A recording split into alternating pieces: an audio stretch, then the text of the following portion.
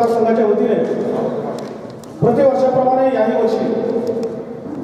आई तुळजाभवानीचा आशीर्वाद ज्या पुरस्कारामध्ये आहे असा श्री तुळजाभवानी पत्रकारिता पुरस्कार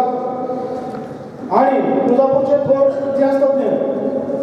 कैलासवासी गौरवप्रयाग गुरुजी यांच्या स्मरणार्थ कैलासवासी गौरवप्रयाग पत्रकारिता पुरस्कार या दोन पुरस्काराच्या वितरण प्रसंगी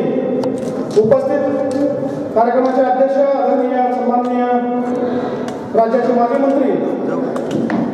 मधुकररावजी चव्हाण साहेब या कार्यक्रमाचे प्रमुख अतिथी उस्मानाबाद जिल्हा परिषदेचे अध्यक्ष सन्माननीय नेताजीराव पाटील साहेब नगरीचे प्रथम नागरिक माननीय बापूसाहेब गणेशजी आजचे सत्कारमूर्ती ज्यांच्या लेखनाची संबंध महाराष्ट्र वाट पाहतो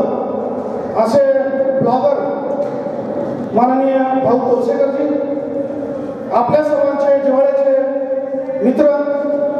आदरणीय अंबादासजी पोपळे